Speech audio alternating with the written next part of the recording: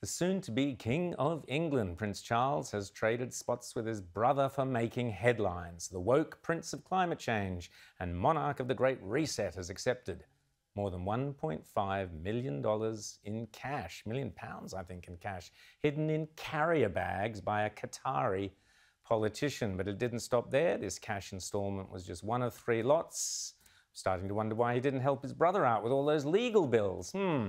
Three carrier bags. Uh, reminds me of a certain Labour MP who had Aldi bags stuffed with cash from a Chinese donor, but being the Prince of Wales, his bags of cash came from Fortnum and Masons instead. Joining me now is Spiked Online's chief political writer, Brendan O'Neill. Brendan, when I used to go to Fortnum and Masons, you'd be able to afford, you know, a couple of little, um, I don't know, eclairs or something. But the Prince of Wales gets bags stuffed full of cash. What is the story, Brendan?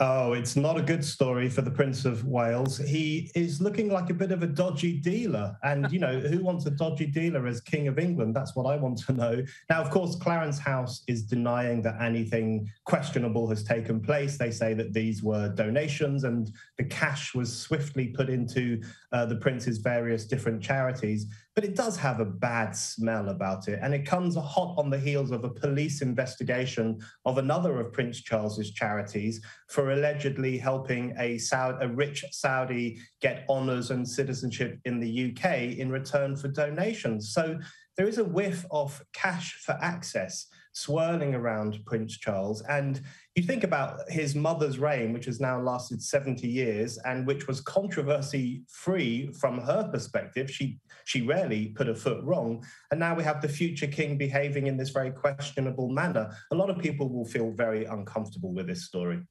Well, as I mentioned, Brendan, I know you love Australia and you've been out here several times. We, uh, we have politicians wandering, Labor politicians, I might add, wandering around with carrier bags stuffed with cash. So no news to us uh, that this sort of thing goes on, uh, Brendan. But, uh, you know, you, you touched on an important point.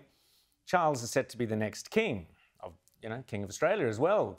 What is, how is this played back to the public in Britain?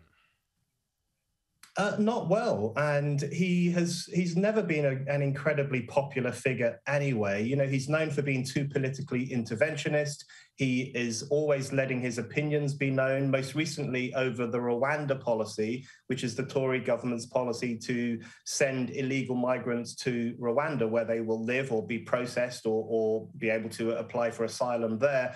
And he let it be known that he thought it was an abominable uh, policy that shouldn't really go ahead. And those kinds of things make people uncomfortable because we fought wars in this country to make sure that the monarch didn't have political influence and make sure that the monarch knew his or her place in the constitution. The Queen lived up to that perfectly. She has not expressed opinions and she has spent 70 years completing the Herculean task of keeping her views to herself.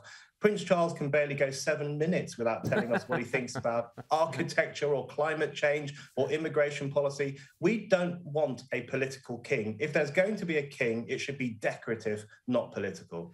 Couldn't agree with you more, and that's certainly the feeling in Australia. We've always wondered what's in the Queen's handbag, but I doubt it's stuffed with uh, Qatari uh, cash. I imagine there's something far more uh, genteel in there. Um, and you mentioned all this, uh, the oh so woke Prince of Wales. It's not only there, Brendan, the things that you mentioned. He's also now suggested that the history of the transatlantic slave trade should be taught in schools, wait for it, as widely as the Holocaust. I'm not sure really that that's the way to go. What do you think? Yeah, this this makes me very uncomfortable. I mean, firstly, it's him once again sticking his nose into policy, in this case, education policy, which is not really his realm.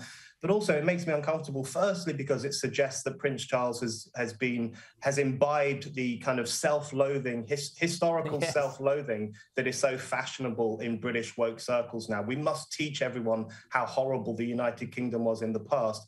And also, I think he's relativizing the Holocaust because he's basically saying, why is the Holocaust taught so widely and the slave trade is not? Well, we all know why the Holocaust is taught so widely because it was the greatest crime in human history.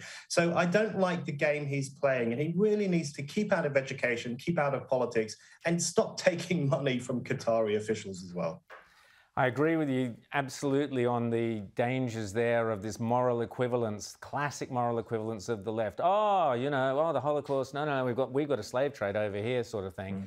Mm. Um, particularly, but not exclusively, uh, one of the uh, many problems with that is, of course, that Britain was responsible, one of the only countries slash empires in history to actually abolish slave trades when the rest yeah. of the world and big empires all and still do uh, use slaves left, right, and centre. Um, just very quickly, uh, Brendan Boris is over there at the G7, and he suggested that he could uh, rival uh, Putin with. Remember the shot of Putin on on the horseback in his bare chest and all that. Boris seems to think that uh, you know he could maybe uh, take off his jumper and do the same thing. What did you make of that?